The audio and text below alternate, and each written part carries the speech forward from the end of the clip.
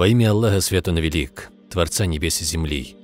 Тот, кто возносит, кого пожелает, и унижает, показывая, чего он стоит. Властелин солнца и луны, звезд, ветра и облаков.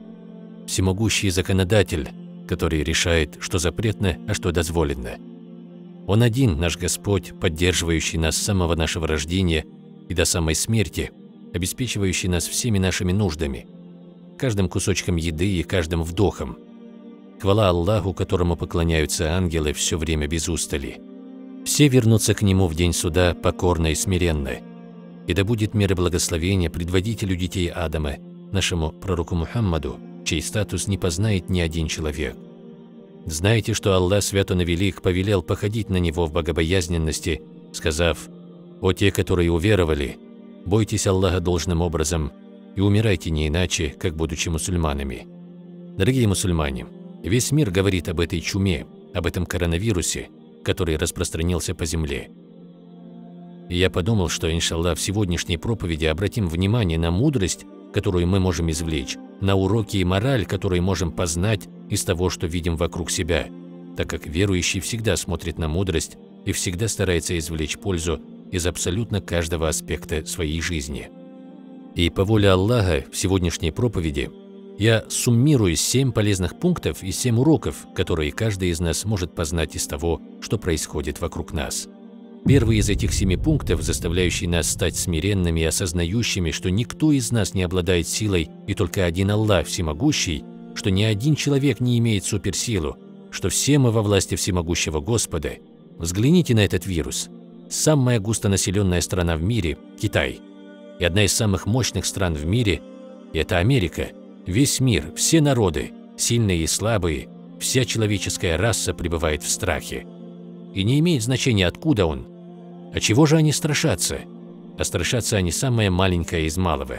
Они страшатся того, что является всего лишь проявлением жизни. Ученые вопрошают, а живой ли этот вирус, или он пребывает в состоянии между жизнью и смертью.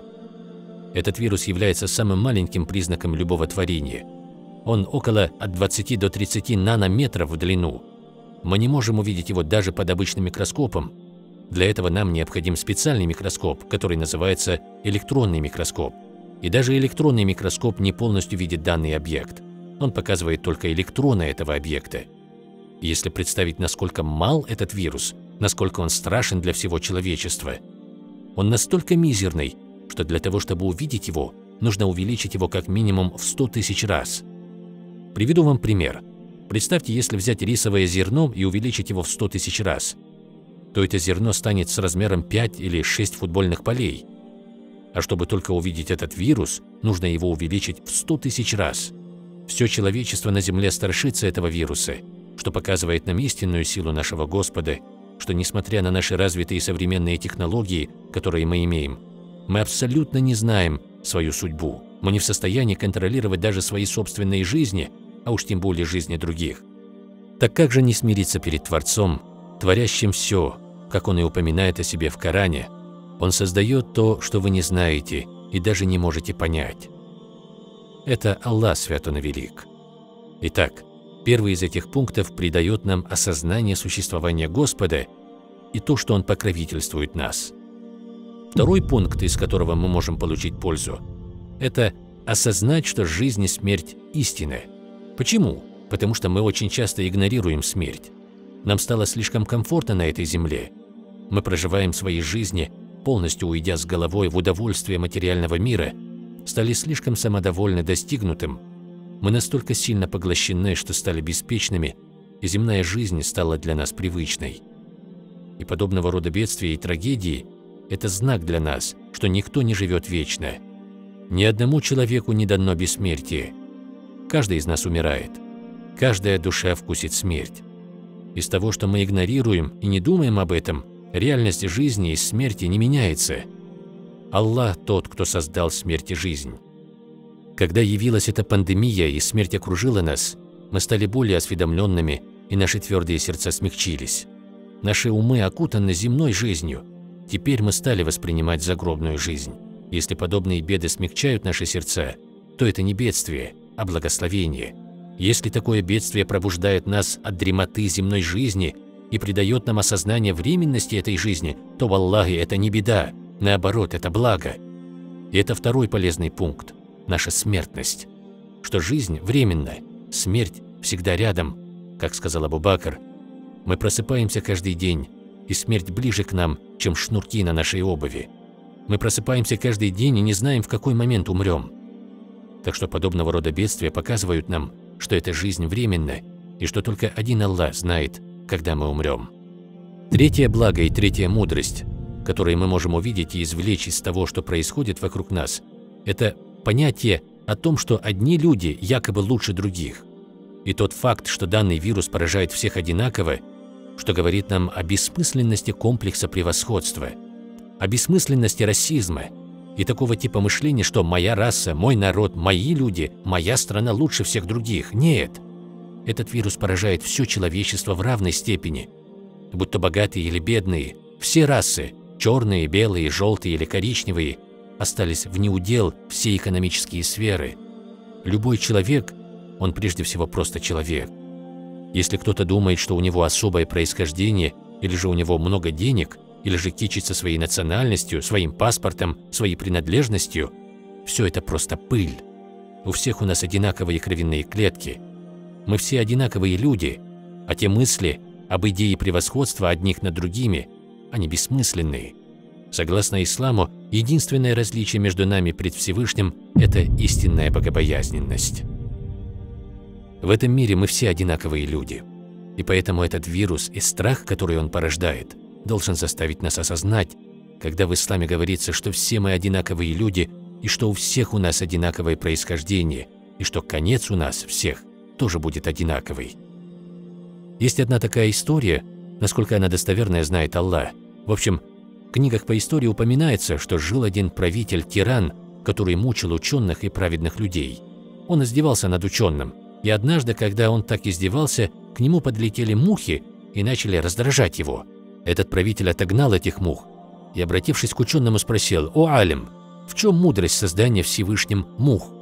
Мухи всегда назойливы и надоедливы, этот ученый ответил, «Аллах использует мух смирить высокомерие таких своих творений, как ты.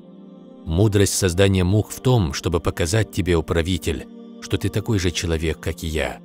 То есть это показывает нам, что данный вирус не делает разницы между премьер-министром и обычным человеком, богатым и бедным, между белым и черным. Абсолютно каждый из нас в равной степени подвержен этому вирусу, потому что мы едины в своей человечности. Перед тем, как перейти к четвертому пункту, хотелось бы попросить вас, братья и сестры, поделиться этим видео, если вы нашли его полезным. Да обрадует Аллах каждого, кто стал причиной распространения. Аминь. Четвертая мудрость, которую мы можем извлечь из того, что видим вокруг себя, это увидеть, что весь этот мир и все блага и имущество, имеющиеся в нем, не являются показателем успеха и счастья. Нет, никак. Наоборот, тот факт, что люди, казалось бы, невинные, хорошие, или праведные поражены бедствием, а людям, творящим злодеяния, все сходит с рук, это придает нам осознание того, что этот мир не конец. Мы должны понять, что нас ждет следующая жизнь. Порой этот вирус забирает невинных детей, невинных людей. И не только этот вирус, но и любое другое бедствие. Иногда хороших людей постигает беда, а плохих она обходит стороной. И это должно заставить нас размышлять над тем, что не всеми, кому даны изобилие мирской жизни, доволен Аллах. И не на всех, кто лишен мирских благ, гневается Аллах. Напротив, изобилие мирской жизни не показатель того, что Аллах любит вас. Как сказал один из ученых, эта мирская жизнь дана тому, кем Аллах доволен, и тому, на кого Он гневается. И также лишен ее благ тот, кем Аллах доволен и на кого Он гневается. Этот мир и все блага, ассоциирующиеся с ним, не являются залогом успеха, признаком любви Аллаха. Наоборот, Именно вечная жизнь – истинный показатель довольства Аллаха. И Аллах говорит в Коране, «Бойтесь беды или смуты, бойтесь испытаний, касающихся не одних только творящих зло среди вас». Этот вирус распространяется везде. Он затрагивает всех в равной степени, праведных и неправедных, хороших и плохих, благочестивых и нечестивцев. И лишь наша реакция определяет наше благочестие, а не само воздействие вируса. Те из вас, кто испытывает те или иные трудности, ни в коем случае не думайте, что Аллах недоволен вами. Напротив, Пророк, алейхиссалату вассалям, сказал, «Эта чума, которая постигла вас, является наказанием для одних из вас и милостью для уверовавших». Одна и та же вещь может быть как наказанием, так и милостью. Почему так? Потому что это мирская жизнь. Деньги могут быть наказанием, и они же могут быть благом. Крепкое здоровье может быть своего рода наказанием, если вы неправильно его используете. И это же самое здоровье может быть благословением от Аллаха Свят Он Велик. Итак, в этом четвертом пункте мы видим, что этот мир, несмотря на наличие или же отсутствие его благ, ни в коей мере не является показателем того или иного уровня человека пред Аллахом Свят Он Велик. Порой случается так, что лучшие из людей не получают ничего из этого мира, а иногда получают очень много, так же, как и худшие из людей порой имеют в этой жизни все, а иногда не получают совсем ничего. То же касается и данного вируса. Пункт номер пять в нашем списке из семи благословений, которые мы решили упомянуть в нашей проповеди и которые исходят из данной трагедии, как мы видим. Потому как целью нашей проповеди сегодня является поиск именно блага из сложившейся трагедии, поиск оптимизма, кроющегося за бедствием, и поиск всегда позитивной стороны, как нас этому и учит наша религия. Итак, Пятым благом в данной ситуации является то, что эгоистичные люди осознали свою острую нужду в своей семье и друзьях, в других людях. Причист Аллах, что случится, если кто-то из нас заболеет? Кто будет заботиться о нас? Ведь есть много таких эгоистичных людей, думающих только о себе. А это не соответствует исламу и нормам человечности. Человеку нужно любить и быть любимым. Человек должен быть частью здорового общества – из этого пятого пункта следует, что человек может извлечь для себя не только важность семьи и друзей и заботу людей о себе, но также и гражданский порядок закона, общества, государства, потому что нам нужна система, сдерживающая и балансирующая, являющаяся залогом недопущения хаоса среди людей. И поэтому, когда пришел ислам, да исламские арабы не были цивилизацией, они пребывали в невежестве. И именно ислам вывел арабов из мрака невежества и возвысил до такой степени, что подчинил им весь мир от Китая до Андалусии в Испании. Почему? Потому что с приходом ислама они обрели многое, одними из которых являются праведные правители, сильная политическая власть. И это показывает нам, что если вы желаете иметь успех в мирской жизни, то необходимо объединиться и иметь закон и порядок. Нужно быть едиными всем – людям, семьям, друзьям, общинам и формировать общество и систему, контролирующие процессы. Конечно, это не место обсуждения универсального здравоохранения, но тем не менее подобного рода вирусы и пандемии заставляют нас задуматься о плюсах и минусах различных ситуаций. Они заставляют нас думать, что же лучше – всем объединиться и заботиться друг о друге или же действовать всем поодиночке. Верите или нет, но подобного рода испытания заставляют человека призадуматься о мирской политике. Это был пятый пункт из семи в нашей сегодняшней проповеди. Шестым пунктом является показать нам, что есть высшая сила, которая определяет все происходящее. Должна быть вера в предопределение. Этот вирус и страх, порожденный им, и неопределенность того, кого он поражает, а кого нет, все это ведь не просто так. Это должно быть предопределено, как Аллах говорит в Коране, «Все, что мы сотворили, сделали это с предопределением». Один человек может принимать все меры предосторожности, он может все время мыть руки, носить маску и никуда не выходить, и все же может заболеть. А другой человек может пойти прямо в эпицентр без всякой защиты, и с ним ничего не происходит. Поэтому нужно знать, что есть сила, определяющая, что и с кем должно произойти. И это, конечно, наша вера в предопределение. Об этом имеется и хадис, приведенный имамом Ахмадом в его сборнике. Некоторые говорят, что его передает Ибн Аббас – в нем говорится, что пророк, алейхиссалату вассалям, сказал «Принятие мер предосторожности не даст вам уйти от предопределения. Подумайте об этом. Принятие мер предосторожности не даст вам уйти от предопределения, значит, что если вы примете все меры предосторожности, но если вам суждено, что это случится с вами, то разве меры предосторожности изменят ваше предопределение? То есть, если Аллах предписал смерть в определенном месте, но у вас имеется защитная броня, и вы сделали все, что могли, Неужели из-за этого всего ангел смерти не сможет забрать вашу душу? Нет. Вот что говорится в данном предании. Ваши меры предосторожности не спасут вас от предопределения Аллаха. Но пророк, алейхиссалату вассалям, сказал, «Туа – мольба, помогает вам от того, что случилось, и от того, что должно случиться. Дуа – это ваше оружие, к которому вы можете прибегнуть. Поэтому я призываю вас, о рабы Аллаха, делать дуа. Верующий человек находит утешение в вере в предопределение. Это не означает, что нам не нужно принимать меры предосторожности.